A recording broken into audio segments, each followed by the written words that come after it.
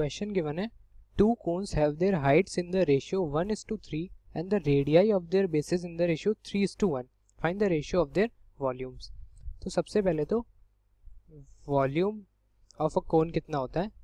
Volume of अ कोन ये मेरा होता है one by three pi R square H ठीक है? अब यहाँ पे क्वेश्चन में हमें दो कोन्स दिए ठीक है?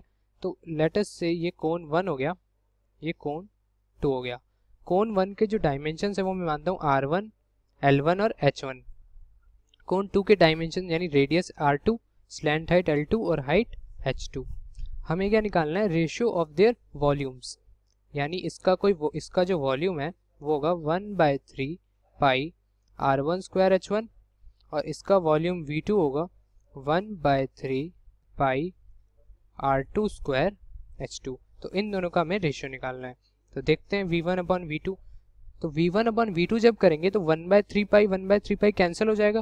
क्या बचेगा? R one square H one upon R two square H two ठीक है? अब यहाँ से देखते हैं। क्वेश्चन में हमें क्या गिवन है? टू कोन्स उनका हाइट का रेशियो और radius of their bases given है। यानी हमें क्या गिवन है? हाइट का रेशियो गिवन है। H one upon H two ये गिवन है वन अपॉन थ्री और रेडियाई ऑफ़ देयर बेसिस यानी R one upon R two ये गिवन है थ्री अपॉन वन तो बस यहाँ से इसको थोड़ा सा ऐसे लिखते हैं R one upon R two इसका whole square into H one upon H two तो यहाँ से R one upon R two की वैल्यू कितनी है? थ्री अपॉन वन और H one upon H two की वैल्यू कितनी है? वन अपॉन थ्री तो ये सॉल्व होके मेरे पास क्या आ जाएगा? थ्री अपॉन वन तो v1 one is to we मेरा कितना कैलकुलेट आ गया? थ्री इज़ टू वन तो समझ में आया क्या किया?